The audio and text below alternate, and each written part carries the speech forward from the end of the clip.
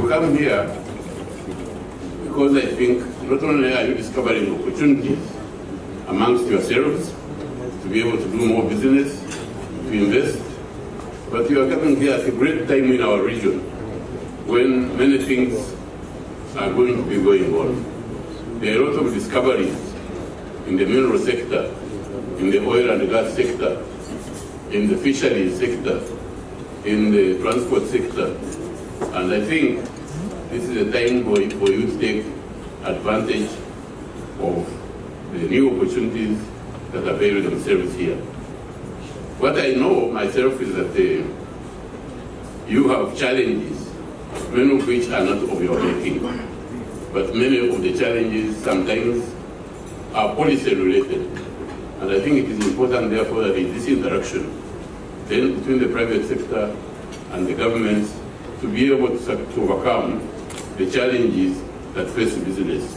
Because it can only be enlightened self-interest for us, for us all to work in partnership.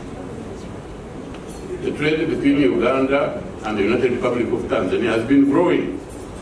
It started, I think, by 2004 it was only $27 million.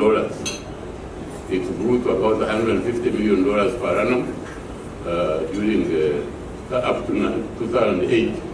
Now we are close to 400 million and beyond between our two countries.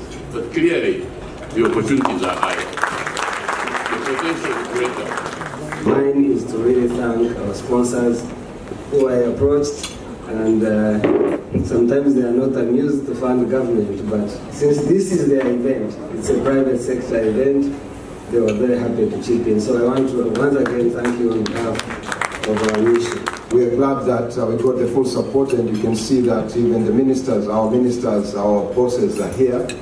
And, uh, and the high point of this, even the President of Uganda, His Excellency uh, Yoweri Kaguta decided to attend this uh, first uh, joint business forum.